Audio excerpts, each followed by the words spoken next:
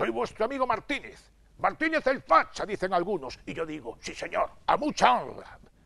España. España está pasando momentos difíciles que nos dejan estos siete años de plomo de gobierno de la izquierda. Ah, los matrimonios gays, la píldora del día después, que no se puedan matar bebés de focas. España no está en guerra, anda por ahí de excursiones humanitarias. El relativismo moral de Zapatero. ¡Qué asco de país! Fijaros en los Estados Unidos, qué envidia.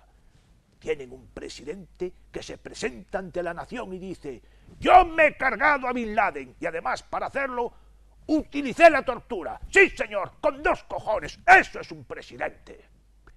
Lástima que sea negro, pero qué coño, no se puede tener todo. Sin embargo, todavía hay esperanza. Desde este rincón oscuro, vuestro amigo Martínez os iluminará. Cuando sintáis flaquear las fuerzas, cuando te sientas tentado a lanzarte una conducta regida por educación para la ciudadanía, no hinques la rodilla. Acude a mí, acude a este espacio de luz. Hace años entregamos nuestra sangre a la patria desde las trincheras. Ahora lo haremos desde el ciberespacio. Dicen que España no se rompe. Claro que no.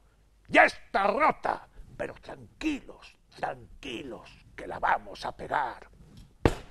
¡A hostias!